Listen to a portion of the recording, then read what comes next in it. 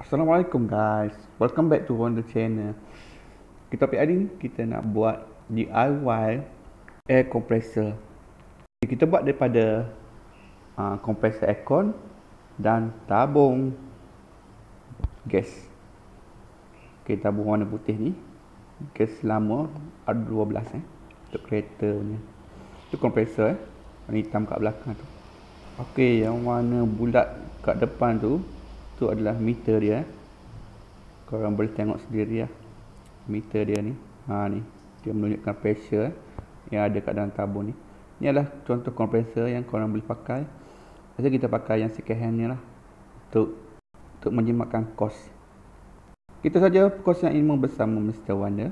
Stay tune zizak layan